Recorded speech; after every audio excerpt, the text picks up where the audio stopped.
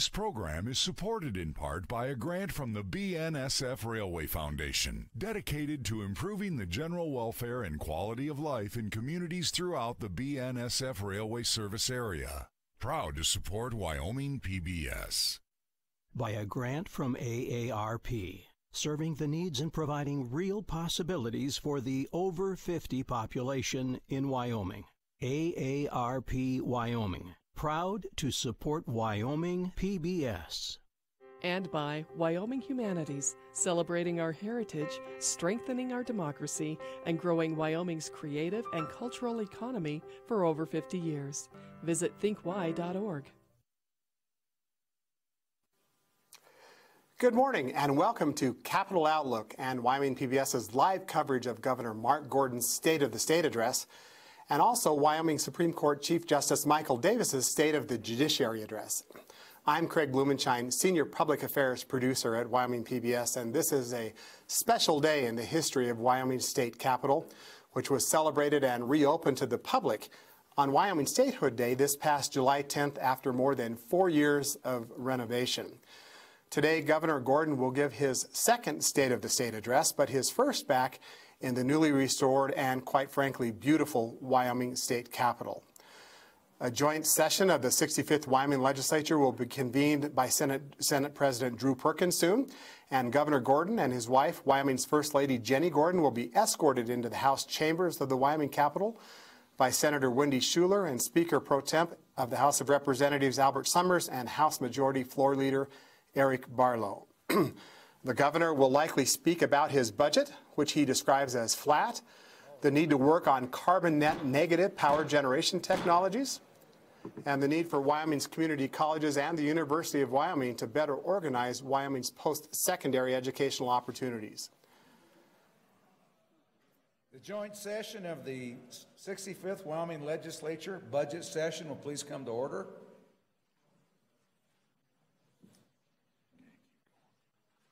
Senator Schuler, Representatives Barlow and Sommers will escort the First Lady of Wyoming, Jenny Gordon, and His Excellency the Governor Mark Gordon to this joint session. While we await their arrival, I ask that you would stand with me and the Speaker and recite the Pledge of Allegiance. I pledge allegiance to the flag of the United States of America and to the republic for which it stands one nation under God, indivisible, with liberty and justice for all. Thank you. While we await their arrival, uh, we'll just stand, this body will stand at ease to the sound of the gavel. The next sound.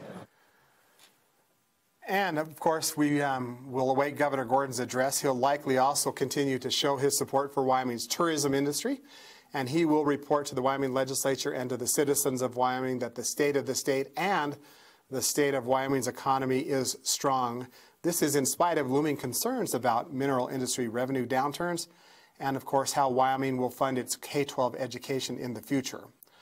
Also on hand today will be Wyoming's other top elected officials, including Secretary of State Ed Buchanan, State Treasurer Curt Meier, the State Superintendent of Public Instruction Jillian Balow, and Wyoming State Auditor Kristi Racines. Also, members of the Wyoming Su Supreme Court will be in attendance today, as well as United States District Judges for the District of Wyoming and the Chief Magistrate Judge for the District of Wyoming. This is also an important day for Wyoming PBS as we broadcast for the first time from a remodeled studio area off the connector in the garden level of the Capitol complex. we'll be broadcasting episodes of Capital Outlook live from our new studio each Friday at 7:30 p.m. for the next 5 weeks, and we invite you to join us as we visit with key members from both the House and the Senate of the Wyoming Legislature to keep you up to date and informed with the happenings in this 2020 budget session. It's worth noting that for the first time in recent memory, memory the legislature will have on its desk the budget bill day one, due largely to the efforts of the Joint Appropriations Committee chaired by Senator Eli Bebout and Representative Bob Nicholas. Both Senator Bebout and Representative Nicholas will be with us as our guests this coming Friday on Capital Outlook. Other key issues that will certainly also grab some oxygen here in the Capitol this session include whether Wyoming will expand Medicaid coverage, as 37 other states have done under the guidelines of the Affordable Care Act. It would allow approximately 19,000 Wyomingites to have insurance that they don't have today. The question is, how will Wyoming pay for what will be a 10% state match that would Mr. be required? Mr. President, Mr. Speaker, it is my pleasure to announce the following guests.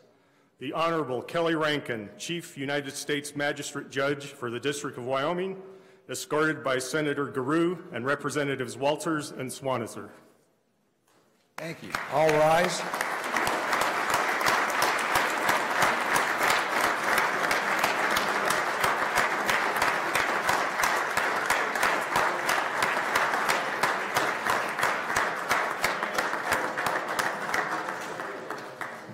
The Honorable Alan Johnson, United States District Judge for the District of Wyoming, escorted by Senator Kinskey and Representatives Eklund and Miller.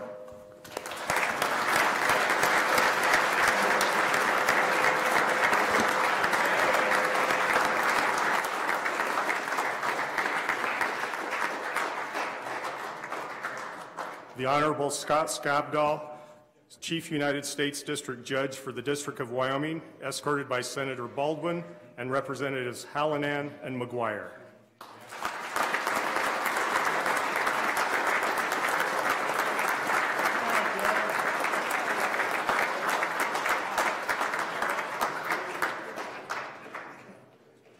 The Honorable Kari Gray, Justice of the Wyoming Supreme Court, escorted by Senator Wasserburger and Representatives Washit and Blake.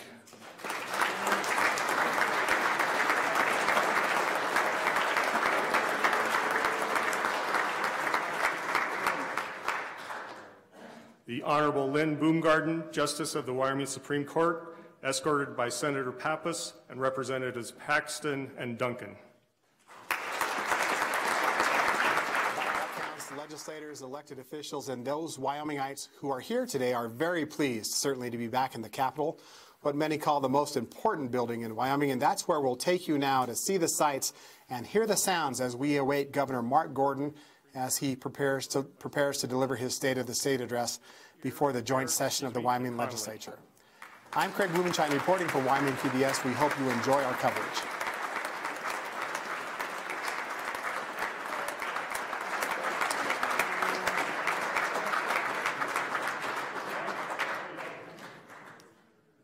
The Honorable Kate Fox, Justice of the Wyoming Supreme Court, escorted by Senator Biteman and Representatives Sweeney and Simpson.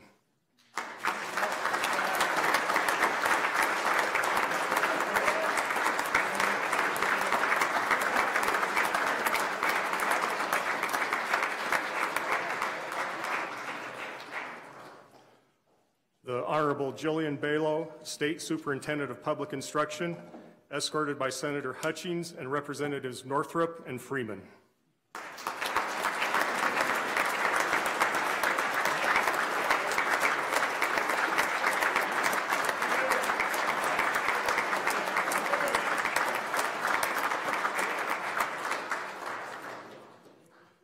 The Honorable Curt Meier, State Treasurer, escorted by Senator Steinmetz and Representatives Burkhart and Flitner.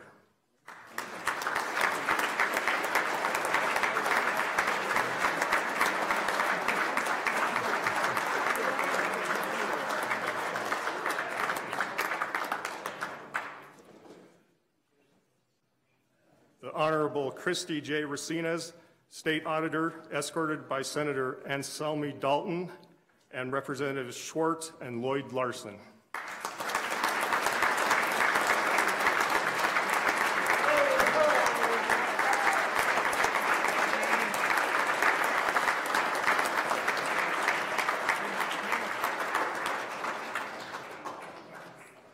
The Honorable Edward Buchanan, Secretary of State, escorted by Senator Ellis and Representatives Hunt and Laux.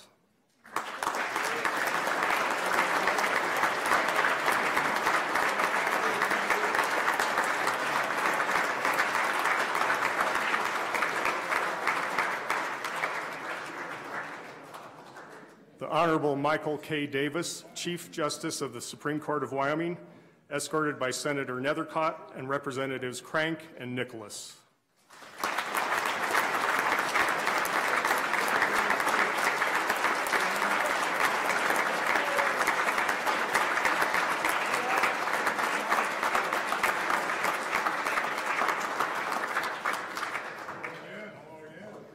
First Lady of Wyoming, Jenny Gordon, and His Excellency, the Governor of the State of Wyoming, Mark Gordon, escorted by Senator Schuler and Representatives Barlow and Sommers.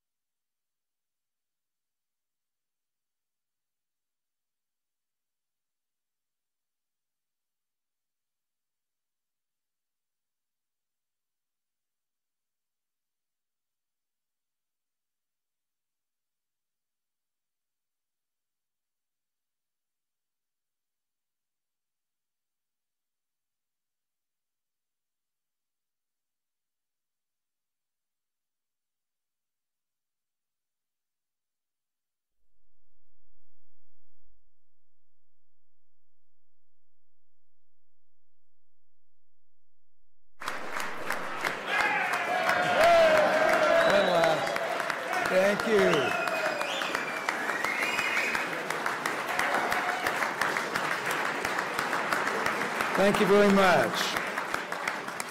I would now like to invite Reverend Thomas Cronkleton, pastor of the Church of Holy Trinity here in Cheyenne, to give the invocation. Please remain standing while he does that for us.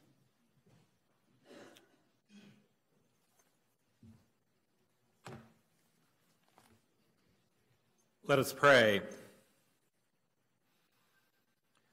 Lord God, after four years of absence from the hallowed halls of this Capitol building, and after all the work that was done to remodel, restore, and refurbish this building and the whole complex, we rejoice to return to the rightful home of the Wyoming legislature.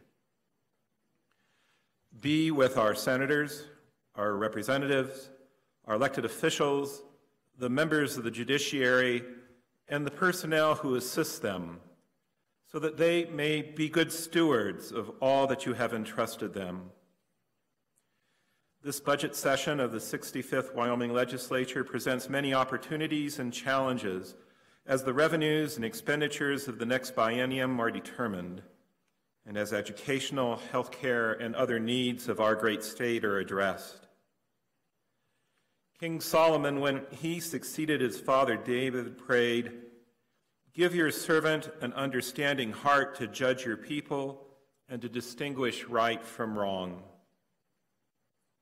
Lord God, therefore, blessed him with a heart so wise and understanding that there was no one like him and no one his equal.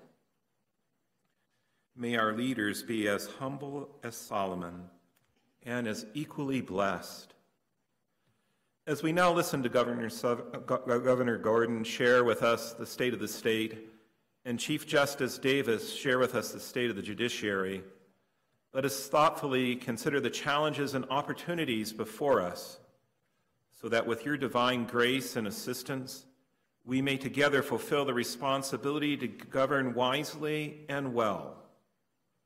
We ask all this and all things in your holy name. Amen. Amen. Thank you, uh, Reverend Cronkleton. Members of the 65th Le- Legislature, distinguished guests, ladies and gentlemen, I present you with His Excellency the Governor Mark Gordon. Governor.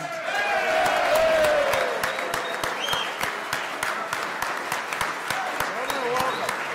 Thank you. Welcome, Governor. Good to see you. Thank you.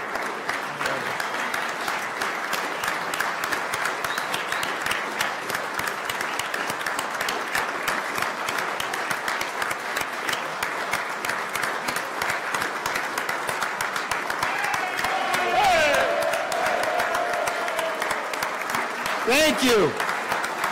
It's amazing to be here. Thank you so much.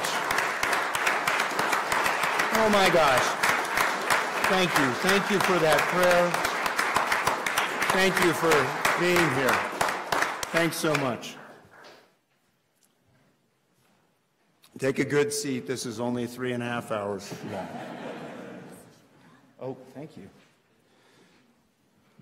President Perkins, Speaker Harshman, and members of the 65th Legislature, thank you for your welcome. To the people of Wyoming here and those watching at home, good morning. And I also want to welcome Secretary of State Ed Buchanan, Auditor Kristi Racines, Treasurer Curt Meier, and Superintendent Balow.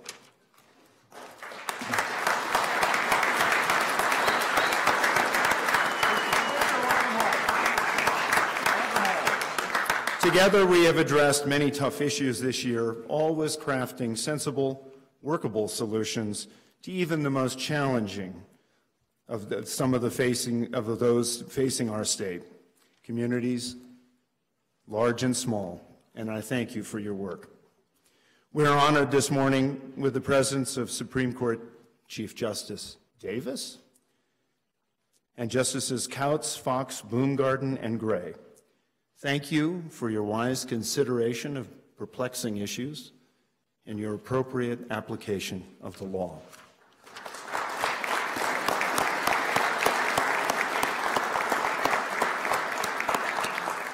And I'm really pleased to have Lee Spoonhunter, chairman of the Northern Arapaho Business Council, with us today. And although unfortunately travel conditions prevented Karen Snyder, vice chair of the Eastern Shoshone Business Council, from being here, I would like you to join me in welcoming them to this, to this chamber.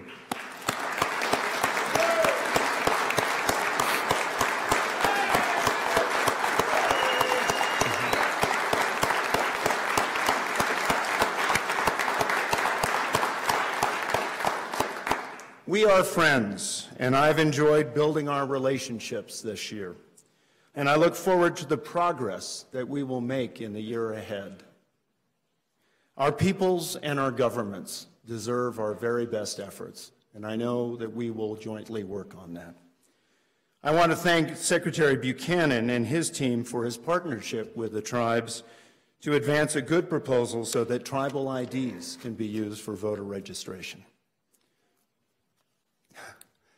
I really, this is one of the great honors that you have in an address like this, and I couldn't be more pleased to welcome Captain Scott Koenig to the chamber. Captain Koenig is a Wyoming native who, along with 29 other soldiers, recently returned from Afghanistan. He and other members of the 3rd Platoon of Charlie Company left last January on a challenging mission to provide 24-hour aeromedical evacuation coverage in Helmand Province. Captain Koenig, welcome home to Wyoming, and know that we are so proud of you and the talented and brave members of your team. And I want to congratulate you for receiving an Air Medal and a Combat Action Badge. Captain Koenig is up in the gallery. Hey!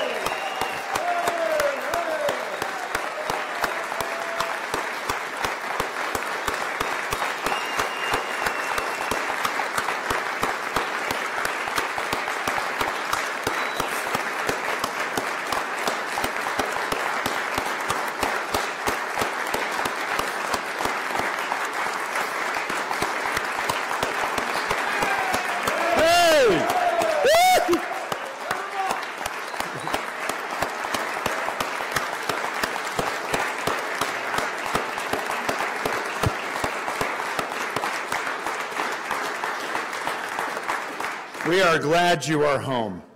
Adjutant General Porter couldn't be here today, but taking his place is Command Sergeant Major Harold Pafford. And I thank him for his many years of leadership and service to the state. There is Command Sergeant Major Pafford.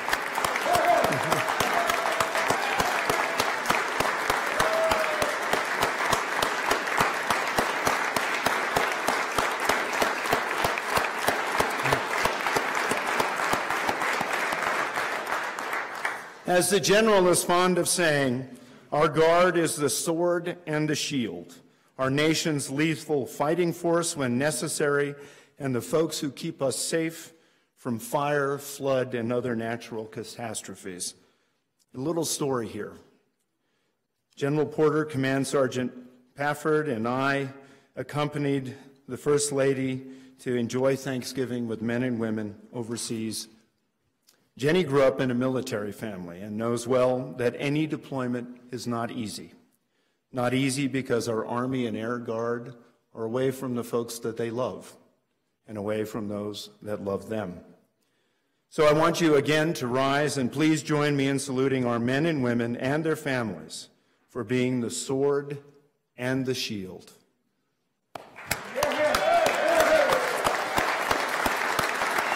And let's keep in our thoughts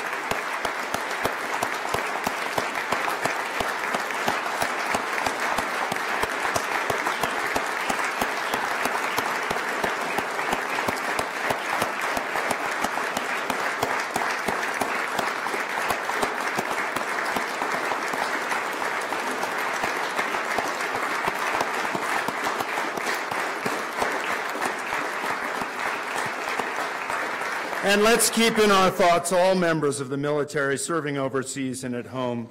We thank you and we thank the many veterans who have defended our nation. You know what? I'm especially proud of Jenny. Clearly, I married above myself. As First Lady, she established the nationally recognized Wyoming Hunger Initiative one that is so critically important to the so many, the many kids in our state. And true to form, she's done it by lifting up the extraordinary efforts of many working around the state to address food insecurity. She's making it happen while keeping our ranch running, supporting our family, and loving every moment of being a grandmother to Everett.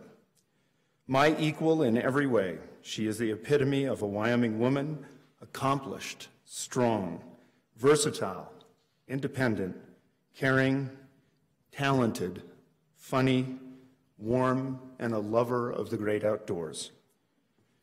Jenny, my respect for you is absolute, and my love for you is boundless.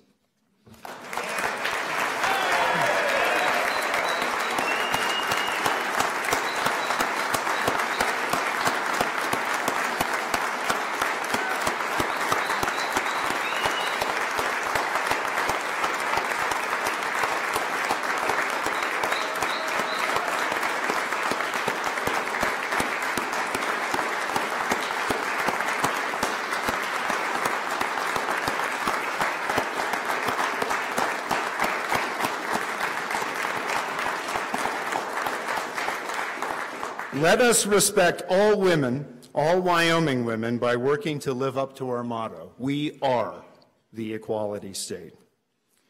I want to thank Sarah and Spencer up there for being here. Your son, our grandson, represents the future generations of this state. Everett isn't here today, but his other grandparents, Mark and Shelley Fagan, are. Everett's apparently busy studying for an ag econ degree with his toy tractor, his horses, his cows, and his sheep. Finally, on behalf of the citizens of Wyoming, I want to sincerely thank the members of the 65th Legislature for your willingness to serve and your commitment to this great state. These are not easy times, and there will be hard choices to make, but I enjoy our work together and I respect and value your thoughts, and I look forward to facing our common future together. I ask all guests here to join me in applauding our state legislature.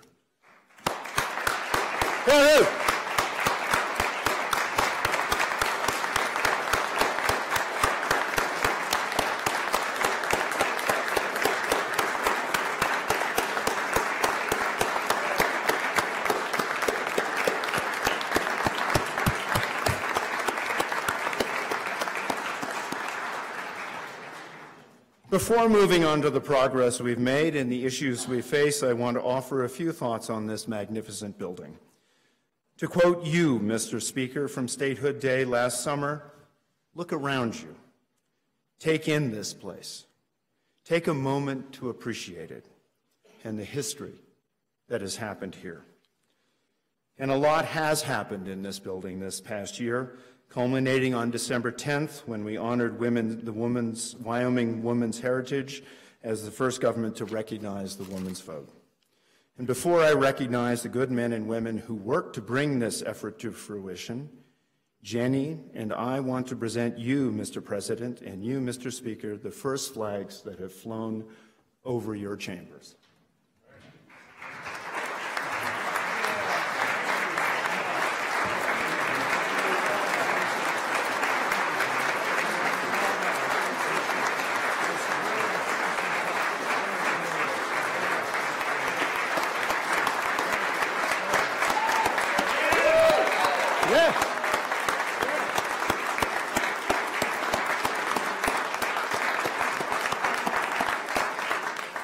Just to let you know how this came about, we couldn't fly either flag on Statehood Day last summer because the hardware was broken.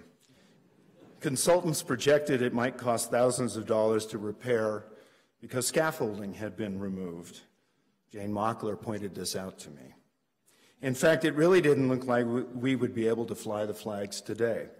But Tommy Ojeda and his phenomenal crew landed on a way to fix that whole thing for around 300 bucks. That is the dedication and ingenuity of our state workforce.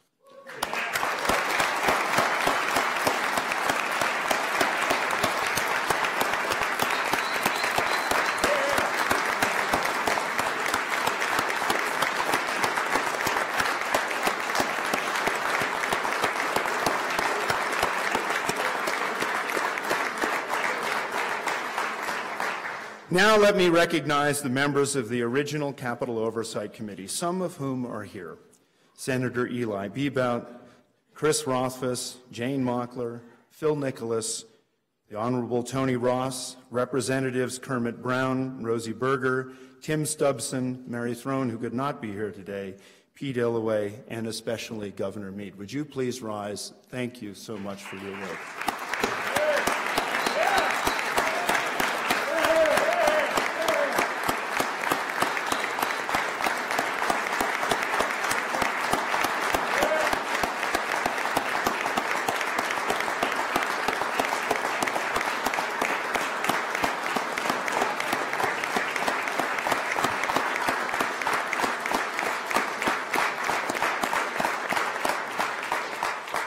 Thank you all for your dedication to this effort, for persevering through a long project.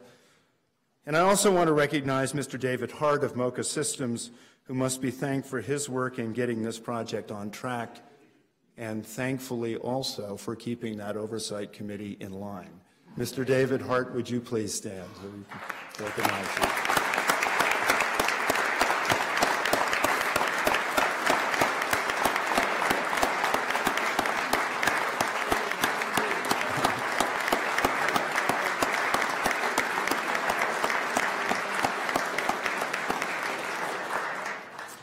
Lastly, I hope you will thank me in joining the craftsmen and women whose care is evident everywhere you look in this building.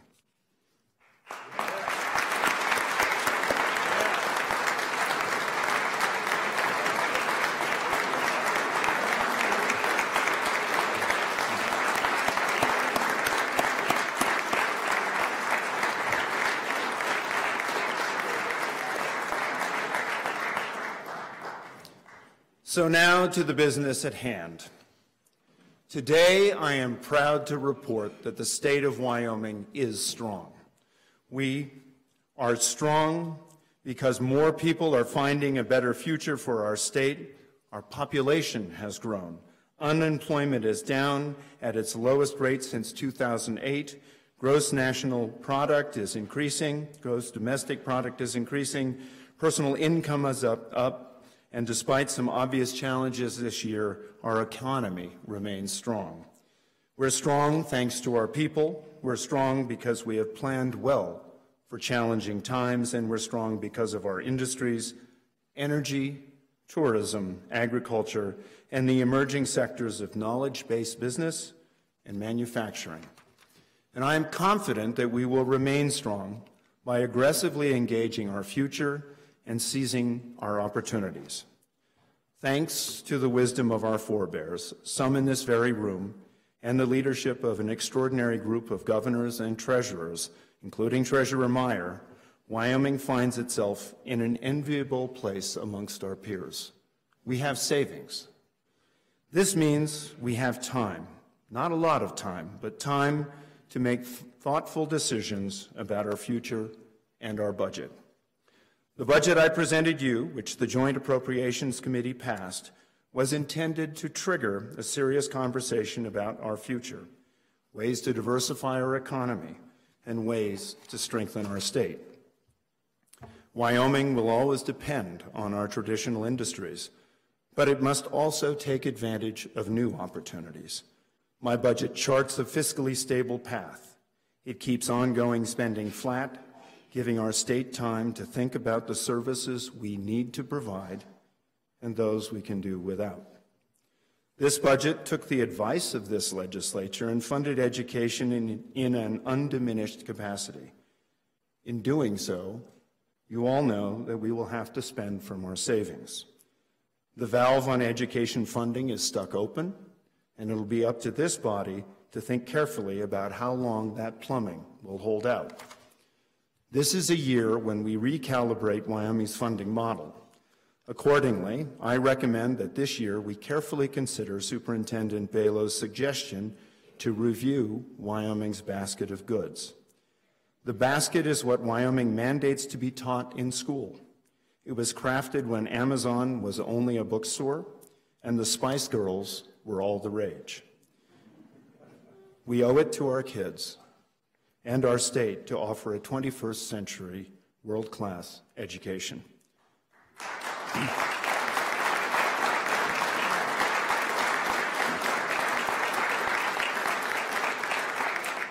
My budget proposes curbs on capital construction. I did so noting that we already are engaged in several expansive and expensive projects. The State Hospital, the Life Resource Center, the UW Science Facility, the Skilled Nursing Facility, the Wyoming State Penitentiary, and the Casper State Office Building, to name a few. Given that it's hard for us to afford to pay the people we need to staff these buildings, it makes little sense to continue to build as aggressively as we have when times were more flush.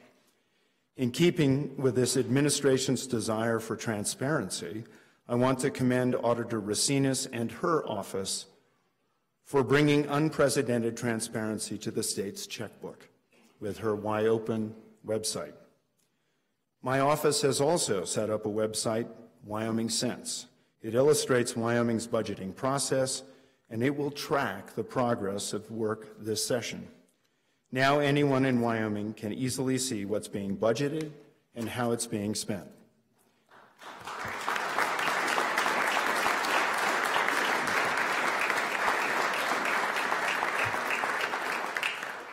It may come as something of a surprise, but state government has actually shrunk now from a decade ago. There are fewer state employees, who are being asked to do more with less. They have capably responded by leveraging technology to implement better ways to provide the services our citizens need. To further these efforts, I've endorsed strategic investments in new technology and advanced cybersecurity. We cannot afford, afford to fall behind in this critical area. We must also recognize the value of our workforce. We're losing some of our most skilled and productive and knowledgeable employees because we don't pay competitively. On top of that, we should remember that both employee health insurance and retirement contributions have increased, which effectively reduce take-home and pay. Let me sum up this problem. We continually need to train new employees who then become better candidates for positions in other states with better pay scales. This is unacceptably expensive and it is very costly. We should be thinking about keeping the people who know what to do and how to do it. While I understand Wyoming's reluctance to offer permanent salary increases in this revenue climate, I've proposed a one-time bonus aimed at recognizing a talent and retaining talent. If we want to reduce government, in my view, we can only do it with motivated people who know how to do their jobs.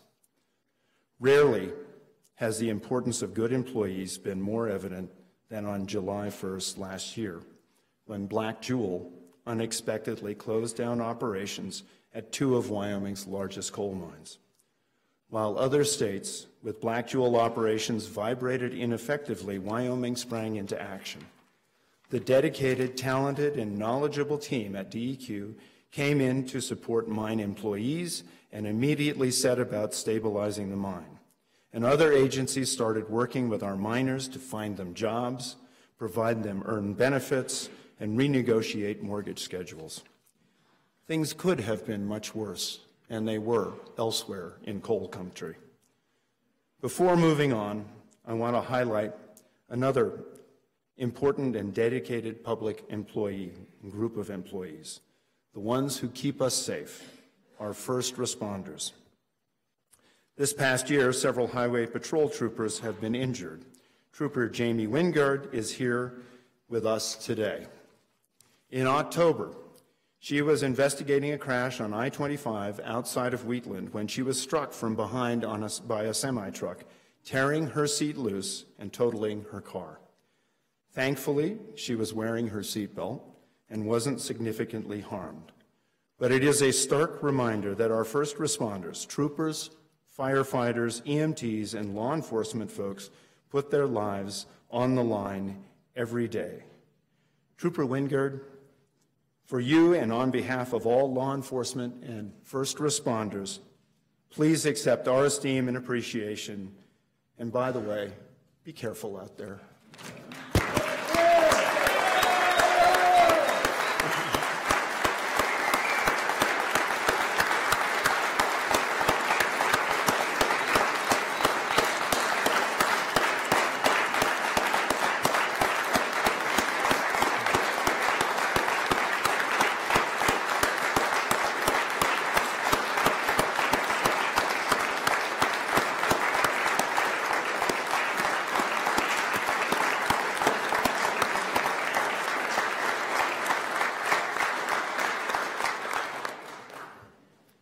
By now, Wyoming citizens know too well how a myopic national political attitude to vilify fossil fuels has affected our energy industry.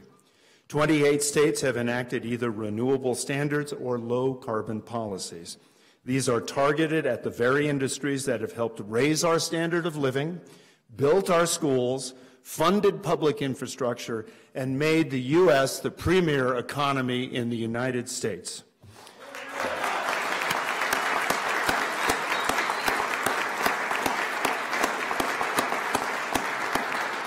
We produce better energy more safely and with more attention to the environment than anywhere else on the planet.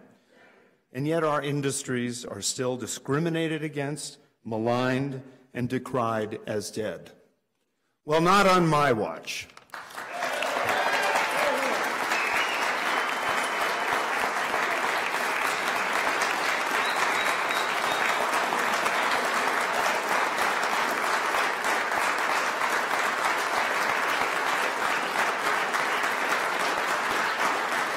Know this. Know this, Wyoming will always advocate for our industries, whether it be to protect against unconstitutional restraints of trade or in their endeavors to deliver cleaner, more dependable, more affordable, and safer energy to our nation. In the gallery is Rob Pipo, the mine manager of Kemmerer Mine.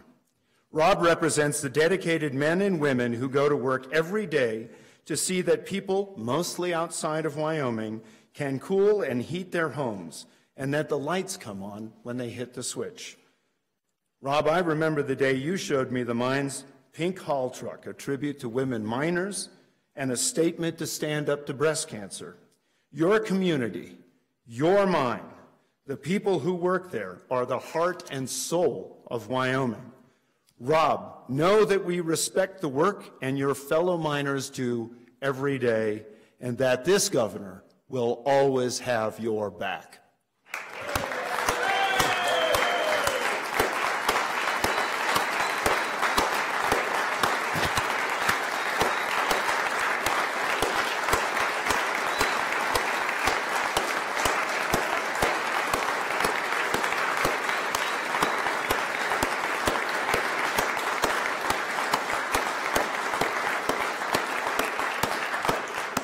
You see, the problem we face is not burning coal. The problem is that we haven't recognized or seized the opportunities to burn it cleaner, to use its byproducts more beneficially, or remember its role as our country's most reliable source of electricity for over 100 years. We in Wyoming are leading the way.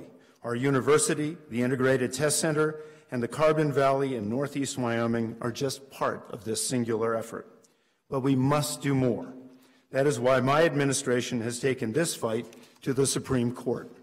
Oregon, California, and Washington have each sought to extend the reach of environmental regulation beyond their borders to blockade interior states like Wyoming their rightful access to coastal ports.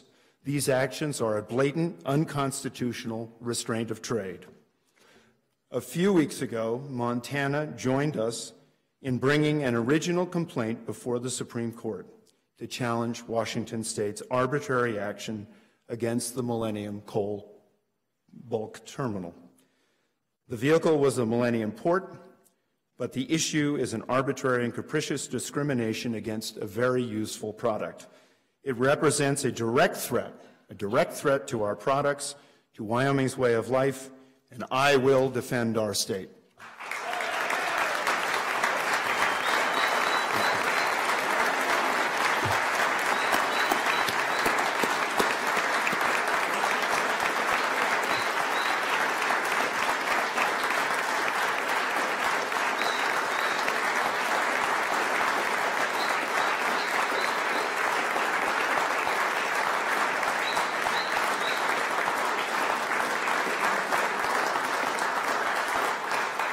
Thank you, Attorney General Hill and your staff for your meticulous work in crafting a strong original brief before our nation's highest court.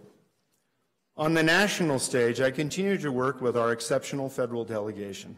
Congresswoman Cheney, Senator Barrasso, and I especially want to single out and thank retiring Senator Mike Enzi for his yeoman service to the state.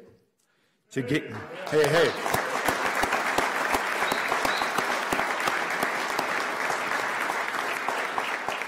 Together, we're advocating for legislative and regulatory, regulatory reform of Section 401 of the Clean Water Act. In November, I traveled to Washington, D.C. to support Senator John Barrasso's bill that does just that. State water quality regulation should be about water quality within one state's own boundaries and not used as a weapon by one state to impose its will on another. I have also provided resources to the Public Service Commission to closely examine the assumptions made by various utilities' integrated resource plans. Changes in those plans can impact hundreds of our jobs. It is our duty to verify that the proposed early closure of coal burning units are truly warranted and economical, not just philosophical and political.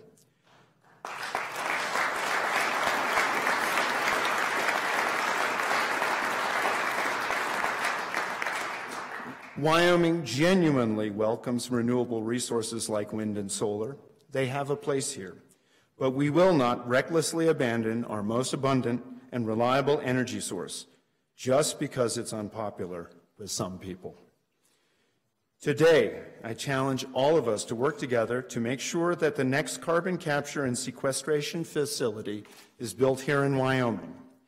I ask for your support of legislation requiring all new electric generation capacity produced in Wyoming to be reliable and consistent, and that a reasonable portion of it be net carbon negative. In doing so, Wyoming will demonstrate what no other state has had the courage to do. We will require true CO2 sequestration, not just some artificial notion that wind and solar can cure climate change all by themselves. I have asked you to add $1 million for coal market augmentation and preservation. This appropriation will be used to defend our energy industry, to sustain the revenues energy provides for the state, and to support local communities' future planning. And I urge you to support a $25 million investment to establish the Energy Commercialization Program. This program will provide a coordinated approach to supporting research to speed along technologies that advance zero or net negative carbon uses for coal and other fossil fuels. I cannot be more emphatic about this point. Time is of the essence. We must act now if we are to stop coal mines from being closed. Last year, Campbell and Converse counties were rocked by multiple bankruptcies. One in particular came as a shock. Thankfully, there are people in Wyoming who live by the code of the West. In the gallery is Dan Baker. When his employer abruptly shut down coal, mine, their coal mine, and sent workers home without pay or notice, Dan and others responded.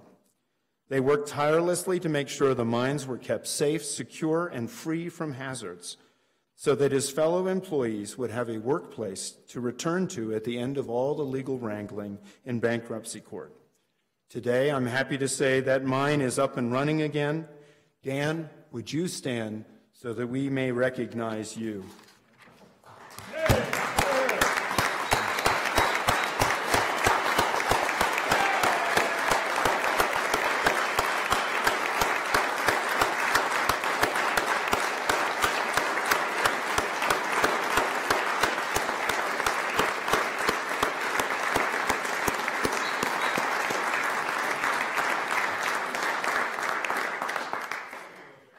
As the Black Jewel bankruptcy shows, counties are at risk and should not be left holding an empty bag.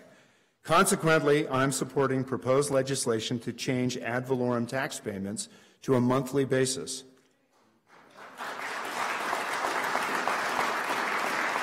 Now, I realize this presents a seismic shift for already financially strapped industries, so the transition must allow long term, dependable industries sufficient time to adjust. Wyoming is a patient place, and we appreciate our industry, but we all pay our debts and expect others to as well. Coal is not the only Wyoming industry that is under stress. I note with particular urgency the state of our natural gas industry. Today, there are only two rigs drilling for natural gas in Wyoming. That's the lowest number in the last 20 years. We've seen bankruptcies and halts in production in this industry too, with equally devastating consequences for local communities. Estimates of natural gas revenue continue to spiral down. I seek the legislature's support in crafting a temporary, price based reduction in severance taxes for those most in need. Wyoming is exceptional when it comes to energy and minerals, we remain the nation's leader in coal and uranium and trona. We're eighth in oil and natural gas production. Even with today's challenges, Wyoming coal supplies 11% of the nation's electricity. In fact, Wyoming is third in overall energy production. And with the addition of wind and solar, we're broadening the portfolio of energy we provide to the nation. Wyoming is known for our natural resources and our public lands. It can, well, it really can be interesting when your largest landholder is the federal government. Our state's relationship with the feds has ebbed and flowed over the years, but thanks to President Trump, right now that relationship is strong and cooperative. With initiatives like shared stewardship, I commit to do my part to keep it that way We'll work with our federal partners to make sure that the 48% of lands within Wyoming managed by the federal government continue to be accessible for all uses.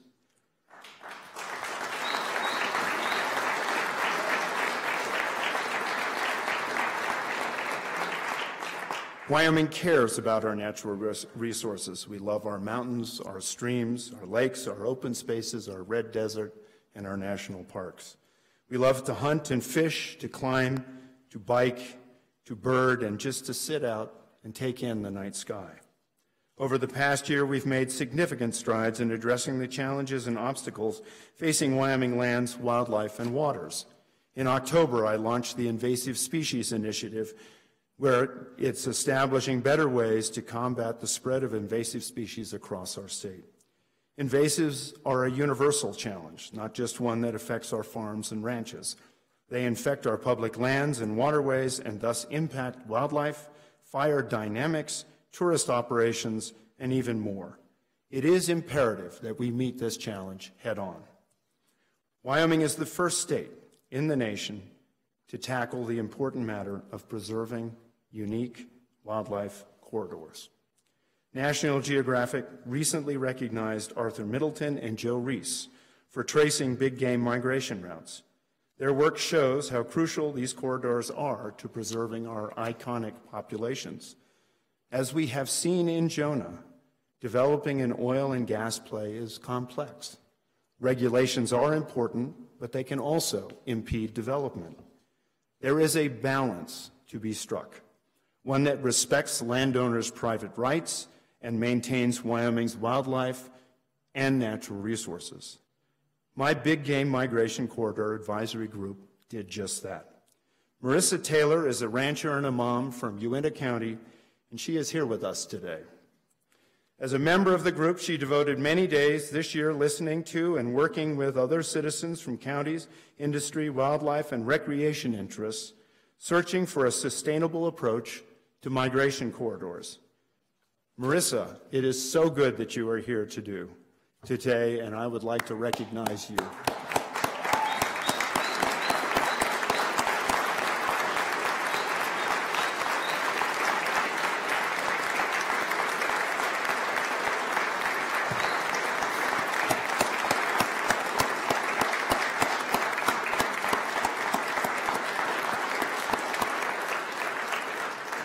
What the group crafted was a recommendation that provides a practical way to identify, designate, and protect a few migration routes without offending private property rights. Based on their work and my own travels throughout the state, talking to affected stakeholders on all sides, I've drafted an executive order to implement their recommendations. My executive order provides opportunities for area working groups county commissioners, and others informed by science to provide on the ground tailored recommendations to preserve vital migration routes for two species, mule deer and antelope. It is absolutely not a land grab, nor a way to create hundreds of routes, nor the spaghetti map that some are saying it is. The order simply establishes a way to designate a handful, single digits, of corridors to protect our state's greatest treasures our wildlife, our hunting, and our opportunity to enjoy the outdoors. Let me tell you why I'm so glad to have, and so proud to have grown up in agriculture. I believe agriculture is the backbone of our state. We will continue to work to expand markets and support this industry across a range of topics. But there is one issue which really came into focus this year. Early on the morning of July 17th, right as the summer was beginning to heat up, an alarm went off indicating that the Goshen Irrigation Fort Laramie Gering Canal had lost all water.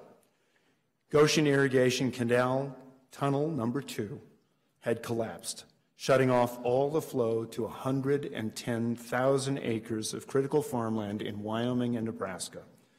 The water then backed up and blew the canal bank out. As Senator Steinmetz will tell you, it left a hole, the kind you can see from outer space. Rob Poston, district manager, is here with us today to represent the board of Goshen Irrigation District. Now, Rob's a Wyoming guy, so he didn't want to be recognized. He wanted to make sure that other GID staff, Linda Kieran, Andrea Janes, and Kevin Strecker, who all faced this daunting challenge together, would be recognized as well. But I want to ask Rob to rise so that we may recognize him and the Goshen Irrigation District for their determination and perseverance. Way to go, Rob. You.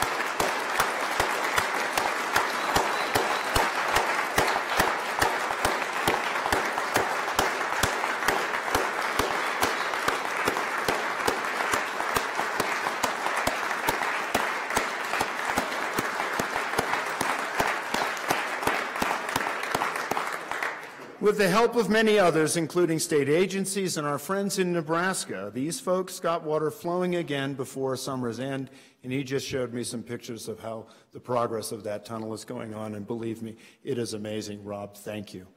Thank you for your perseverance. The GID tunnel failure highlights a larger systematic vulnerability facing our state's aging irrigation infrastructure. I personally worked with the Select Water Committee on a solution to this problem.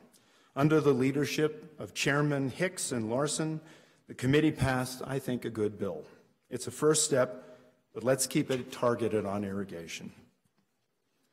And I want to make sure that we're doing everything we can to grow the second most significant source of income to our state. Tourism and outdoor recreation in Wyoming represents an enormous opportunity to grow our economy. It's a sector which employs more people and returns substantial sales tax revenue, and that revenue comes mostly from out of state. Whether it's ski joring in the Sundance Winter Carnival this month, skiing in the Tetons or at Hogadon, ice climbing in Cody, snowmobiling in the Bighorns, ranch vacation in Saratoga, bird watching on the Cokeville Meadows, mountain biking Curt Gowdy or Johnny behind the rocks, enjoying the daddy of them all right here, or rodeo anywhere, almost anywhere in Wyoming. Fishing the Wedding of the Waters or on Glendo, water skiing on the Gorge or Alcova, Wyoming truly has a bit of something for everyone. Think about what we can do with Hot Springs National or State Park. And now there's a new military mu museum in Dubois opening in May. I could go on, but you get the idea. Wyoming is an amazing place where you can still get on a river, climb a mountain, or simply enjoy a quiet evening on the plains. I applaud our tourism industry and support its proposal for a lodging tax that would help Wyoming compete with its neighboring states. Over the last year, we've spoken extensively about education, and I've had the pleasure of engaging with educational community all over the state with a variety of issues. I want to recognize Dane Weaver, a passionate teacher of 7th through 12th grade social studies. And Dane is up in the back of the room. He lives in a little town at the base of Ten Sleep Canyon, just over the hill from where I grew up. Dane, please accept our congratulations on being Wyoming's Teacher of the Year.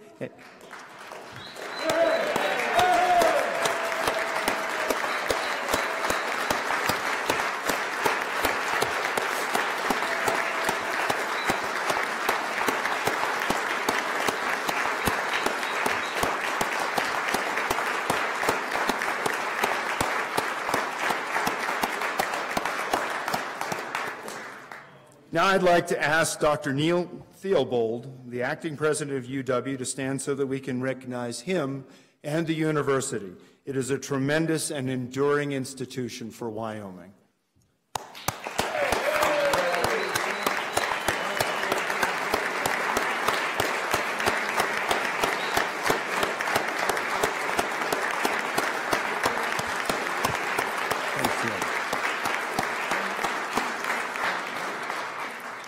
Just two weeks ago, I sat down with Neil and the presidents of our community colleges. We know that those colleges are so important to our state. Over lunch, we began a discussion about how to better organize Wyoming's post-secondary educational opportunities to be more economic and better able to deliver education where it's needed. And I left that meeting, Neil, very excited about our future and our opportunities. My administration has helped to secure additional financial resources for the year ahead to strategize, evaluate, and improve our early education, K-12 and post-secondary systems. Already, we're hearing good things around the state about the strides we are making in workforce development, in particular the Wyoming Works program and the efforts of the Educational Attainment Executive Council, which has aggressive goals to increase the number of people in Wyoming earning post-secondary certificates and degrees. Through the collaborative, effort, collaborative efforts of the K-12 education sector, community colleges, UW, and industry, we can equip our students with the necessary skills to ensure their success and improve Wyoming's economic health. This is really good news. We have a window of opportunity in this recalibration year to think critically and in good faith and discuss what we need to teach and how we can sustainably fund our education system. I am committed to working with you to find a solution. That is something we simply cannot afford to put off. This train has arrived at the station. The people of Wyoming know it, and we should not miss it.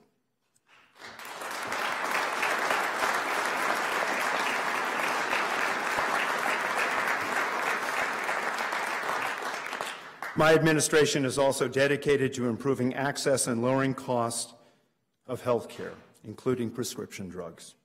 Notably, we need to improve mental health care through innovative approaches and coordinating agency policies for more seamless delivery of services. One area of focus is on the prevention of suicide.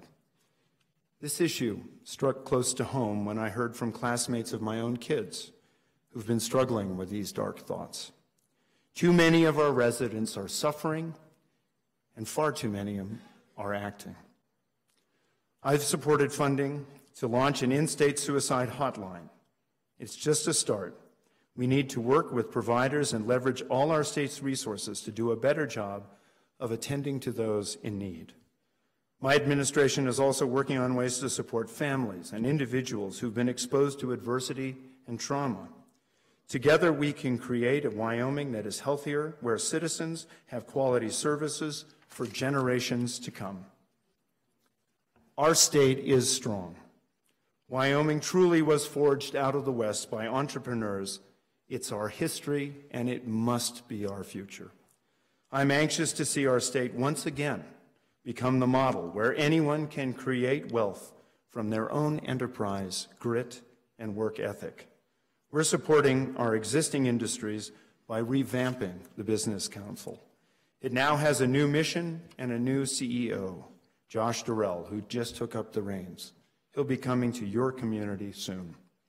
His entrepreneurial, private sector experience and deep understanding of Wyoming will be invaluable in helping to support existing businesses, grow new ones, and attract whole new enterprises to this state.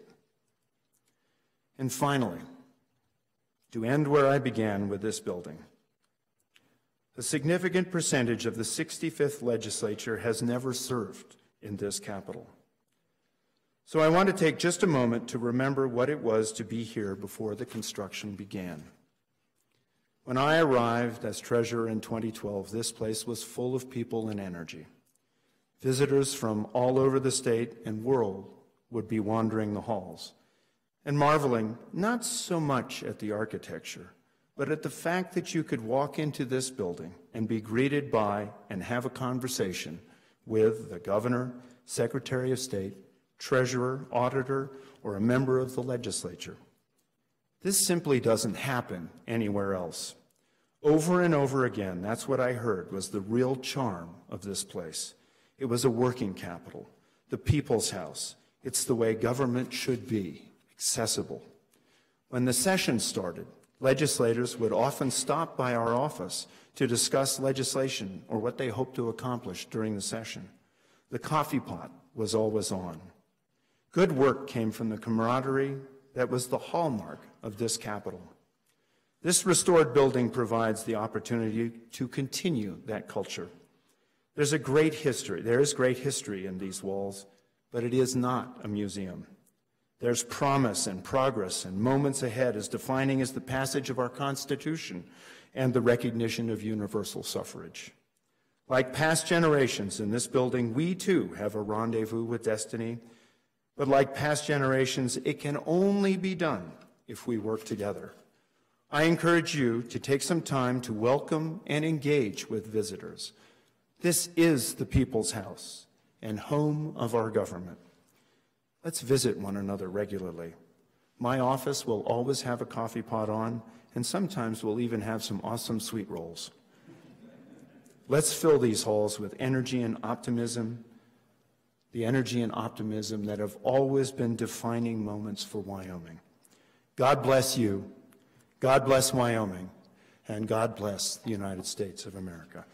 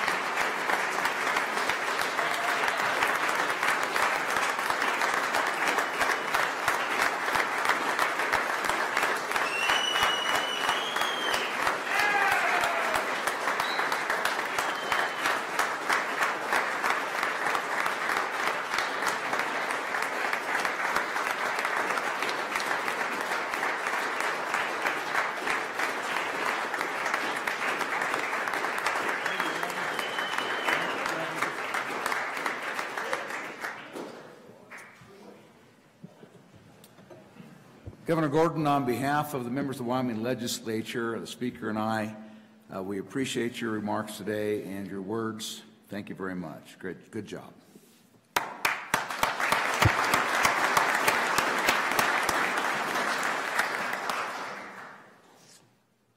The Honorable Chief Justice Mike Davis of the Supreme Court of Wyoming, excuse me, that's the wrong page, excuse me. Already did that. Members of the 65th Legislatures, uh, distinguished guests, and ladies and gentlemen, I present uh, the Honorable Michael K. Davis, Chief Justice of the Wyoming Supreme Court. All right.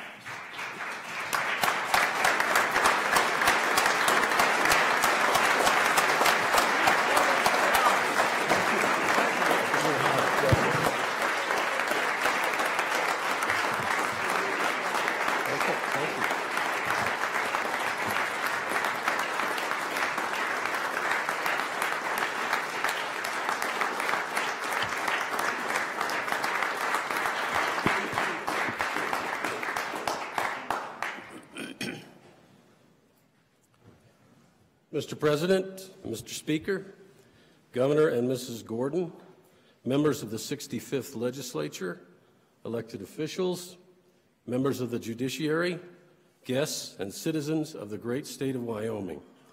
It is an honor to speak with you today on behalf of the dedicated men and women of Wyoming's judicial branch. It is also quite a privilege to be the first Chief Justice to speak in this beautiful chamber since it has uh, been restored and renovated.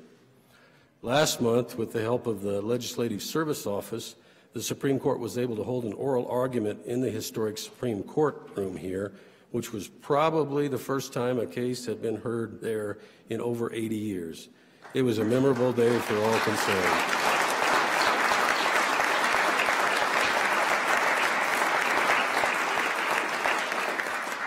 Thank you for that opportunity. Governor Gordon is a tough act to follow, but I'd like to talk to you a little bit about what's going on in our branch of government. Our trial courts have been busy administering justice since I spoke to you last. For each of the last five years, there have been at least 150,000 filings in our circuit and district courts combined. Behind every filing is a person or persons, many, if not most of them, your constituents. And that number seems pretty startling for a state with a population of slightly less than 570,000 people. Most of us don't want to go to court, but crimes must be prosecuted, and everything from the simplest divorce to the most complex civil case must be brought to a conclusion. There are no other places to find justice than in our courts, where disputes can be resolved peacefully rather than through violence or self help. Despite our dipping revenues in Wyoming, the work of the judiciary continues. In fact, it may increase as families are under stress, unemployment and poverty increase, and businesses fail. In Federalist 78, Alexander Hamilton described the judicial branch as the least dangerous branch of government because it has neither the power of the sword nor the power of the purse. That's probably true, but is most certainly not a less important branch of our balanced system of government. A stable and just court system is essential to assure that our state is seen as one in which justice is done. It is well recognized that economies will not attract investors or thrive without assurances of a functional court system. In our Wyoming legal system, 2019 was another year of transitions. Circuit Judges Frank Zebre, sitting in Kemmerer, and Randall Arp, sitting in Torrington, retired after years of faithful service. Judge Zebre had served for 35 years as a judge. Truly remarkable.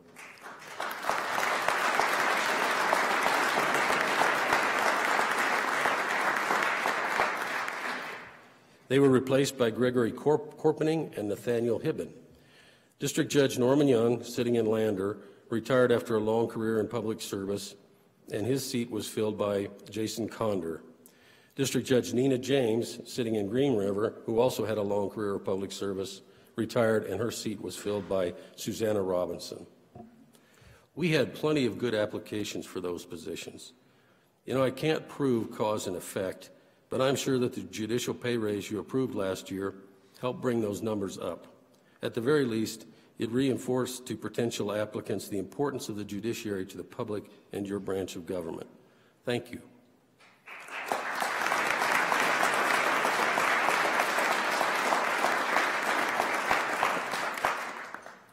And I would re- be remiss if I didn't mention the hard work of the Volunteer Judicial Nominating Commission. The Commission had a marathon stint during which just over 14 months it sent 30 names for 10 judicial positions to Governor Mead or Governor Gordon. That literally, literally means thousands of pages of documents had to be reviewed to narrow the field down to the three best of the best. The commissioners deserve our thanks for their selfless, unpaid service.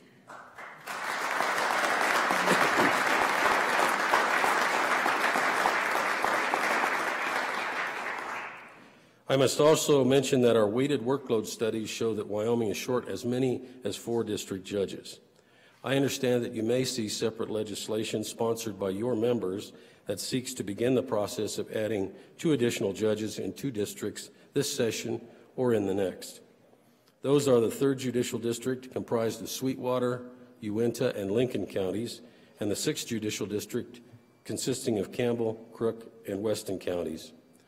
A shortage of judges impacts our branch's ability to provide just, speedy, and cost-effective resolution of disputes, and we support the legislators and district judge efforts to get the help they need. We continue with a number of programs for the benefit of the public and the good of the branch. Our judicial education program for state judges continues under the able direction of Justice Keith Kautz, and we have begun to offer orientation and training to new municipal judges as well as state judges. Our Access to Justice program for civil cases, Equal Justice Wyoming, serves thousands of citizens who need legal services and cannot pay for them. And it has been very successful in obtaining and awarding grants to provide that assistance in a number of different and creative ways. The Judicial Learning Center at the Supreme Court building which was funded partly through an appropriation from this body and partly from private donations, has experienced excellent use uh, by educational institutions and the public. In fact, now that this beautiful building is open and attracting students from around the state, we are literally besieged uh, with requests to visit the court and the Learning Center. And I believe we will shatter all past records this year and in the future. The Court Security Commission which is tasked with making our courts safer for those who must use them, uh, also completed projects in several counties, so we progress on that front as well. In the last legislative session, you passed a law requiring the Supreme Court to set up a chancery court, which will be a specialized business court that will hear certain complex cases not involving jury trial. That project has moved forward briskly under the direction of Justice Kate Fox. She set up a Chancery Court committee consisting of attorneys who are likely to practice there, judges, Representative Mike Greear, and others. In the time since the legislation became effective, the committee has identified qualified retired district judges who are willing to serve as Chancery Court judges in the time between opening the court and the time it's fully operational, and a permanent Chancery Court judge can be chosen through the usual nonpartisan judicial selection process. The committee also proposed draft rules for the Chancery Court, which the court adopted by the deadline in the legislation you passed, and which are out for further comment by the bench and bar. Lastly, a location for the Chancery Court was approved by the State Building Commission in the new Casper State Office building that the governor mentioned earlier, and plans are underway to construct the courtroom and associated facilities there. As I will shortly discuss, Efforts are also well underway to have a case management and electronic filing system in place when the Chancery Court opens for business so that it is truly a digital court. We thank the members of the Chancery Court Committee and its various subcommittees for all of their hard work.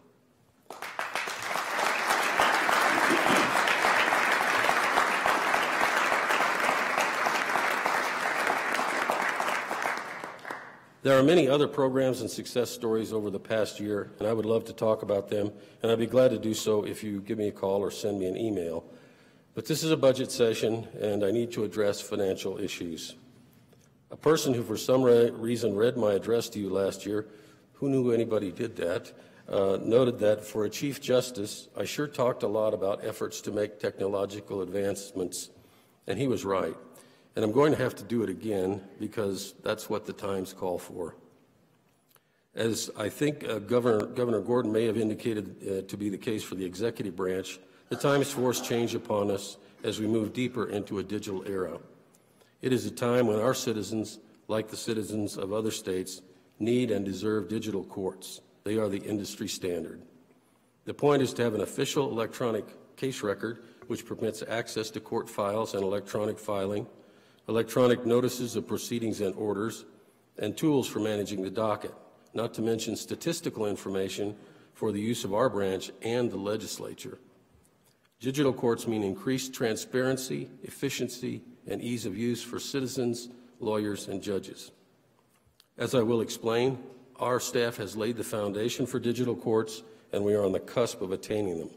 The risk of insufficient resources to preserve progress is great, and the cost of any regression or delay will be significant. Let me just tell you about our progress on that front. Although neither our staff nor the elected district court clerks are satisfied with it, we do have electronic district court records on the same system statewide, so we are not dealing with four separate case management systems provided by the counties as we were. We are all on one system. Our district judges and clerks are able to work from digital files rather than yards of unindexed paper files. We are nearly finished with customizing a different program to take the existing system's place, and the transition will be easier because we only have one system from which to migrate data. Attorneys have been eager for us to get to electronic filing in district court. This would allow them to file a document in Laramie County from their offices in, say, Cody instantaneously. It would end the ridiculous situation we have now when attorneys print their electronic documents somehow transport them to the court where they are scanned and converted back into an electronic format. The system would automatically immediately notify the other parties of the filing rather than notice coming by snail mail. Attorneys, parties, and judges could work from those electronic files, and public access could be as broad or as narrow as this body or the court decided should be. We formed an electronic filing committee consisting of attorneys with experience with e filing in the Wyoming Supreme Court the federal courts, and the courts of other states. The committee obtained quotes based on national e-filing standards, and it set up presentations from three leading national e-filing program vendors. Those vendors set up practice sites so the committee members could experiment with their programs and help select one that we can trust. We also vetted the program with court administrators in other states using them. We will soon make a selection and begin negotiating for electronic filing for the Chancery Court and for all the district courts, probably before the month is out. We thank the e-filing committee for its hard work. The Joint Appropriations Committee has earmarked $2 million for that purchase, and we think it will be sufficient, although we may have to forego some features to get the job done for that amount. Former Senate President Phil Nicholas has also agreed to chair a committee which will identify changes that need to be made to court rules and statutes to make them appropriate to govern e-filing and digital court records. We thank the members of this committee for their willingness to take on this labor-intensive uh, and probably a little mundane but absolutely essential task. I could go on for quite a while about the steps we are taking to move to digital courts. We have a fantastic jury system that provides for electronic completion of juror questionnaires and electronic notification of jurors of trial dates that has been rolled out in about half our courts. This has been good for the people and the courts. As to data security, I would guess most of you have read of uh, recent ransomware attacks in this state and in the region. We have moved branch data, including case records, to the cloud, where it is stored in two locations and monitored continuously for attempted cyber attacks. I can't say we would never be hacked, but these steps most assuredly make it much more difficult than it was before. We have upgraded our education and security efforts to comply with the payment card industry data security standards.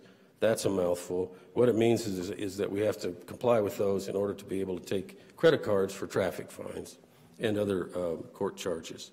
Interestingly enough, this includes having a consultant hire a firm to try to hack us and tell us if they find any vulnerabilities, among many other things. We have also upgraded software and hardware branch-wide, and we have upgraded most courtrooms so that they now have adequate audio systems. Although the video systems in many of those courtrooms, the things used to display exhibits, videos of traffic stops, etc., lag behind due to lack of funds. As we approach this budget session, we were privileged to meet with the Joint Appropriations Committee on more than one occasion, and it was suggested that we do a couple of things.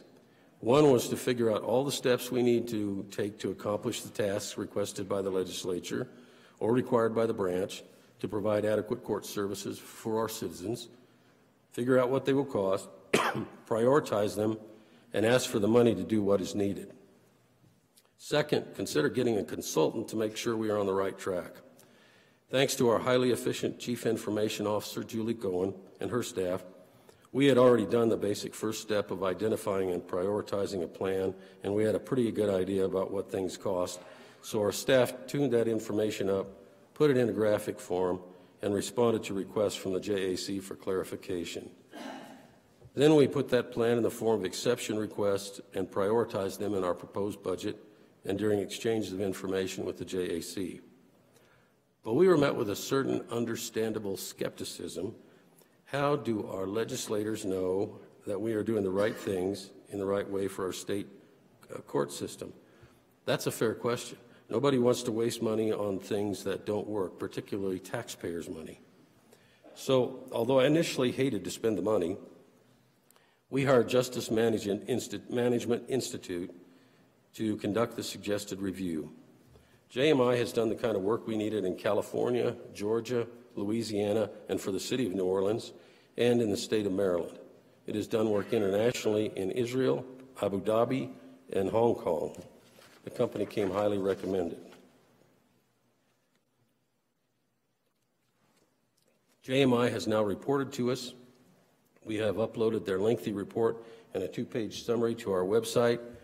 I would guess that all, with all you have to read in your jobs for the next few weeks, you're probably going to want to look at the two page summary, but everything is there. Here are some of the findings in the report brief they provided. First, the Wyoming Judicial Branch is aligned with and sometimes ahead of peer states such as Colorado, Montana, South Dakota, and Utah in achieving digital courts for the benefit of all stakeholders in the courts. Two, the Wyoming Judicial Branch has made this progress with significantly fewer resources, funding, and staff than comparable states. Third, effective and sustainable digital courts require a solid foundation. Thus, the Wyoming Judicial Branch has built an infrastructure and is rolling out applications that can fully support a digital court. Built technologies include a robust case management system, e-citations, e-filing at the Supreme Court, electronic payment of fines and fees, integrated court calendars, and hearings by video conference. As important, over the last two years, the branch has built a new technology infrastructure that is far more secure and adaptable. So, the answer to the question of whether we are on the right track is a resounding yes. Our talented staff is doing the right things in the right way as quickly as it can. The consultants also made a couple of other observations. As already noted, we are understaffed. JMI estimates that we should, based on efforts in comparable states, have an additional eight employees working toward digital courts. We have 18 now. We're not asking uh, for more at this point. Aside from the fact that we wouldn't get them, uh, the consultants noted that our staff, although small, is getting the job done, but more slowly than it could with adequate personnel. And of course, JMI stated the obvious. The branch needs a stable funding source to attain digital courts. I want to thank the Joint Appropriations Committee for all its hard work to understand the rather complex judicial branch budget and the interplay of our work with the various independent district courts and the elected clerks of district court. The latter are actually outside our branch and our county officials. Our funding comes both from the general fund and through special revenue that I will talk about in a moment. And all of its work came as the, J, J, uh, as the JEC was undertaking the Herculean task of balancing the entire state budget in a year in which revenues are far below what is needed and when agencies in the executive branch and even the legislative branch are struggling to maintain operations and progress. But here our branch is, poised to get to the digital courts that everyone wants and on the right path and ready to continue moving forward. But complete funding is simply not there due to a downturn in revenue. We may be able to limp along without some critical needs if we already have something in place. A good example is the C-TRAC electronic filing and case management system at the Wyoming Supreme Court. It has worked well, but it's now 12 years old. It's actually become the most widely used appellate case system in the country. It was the first of its kind in the nation, and it is now so far out of date that it cannot be uh, updated, but would have to be replaced. So, like I did with my old 1971 Datsun B110 I bought with my mustering out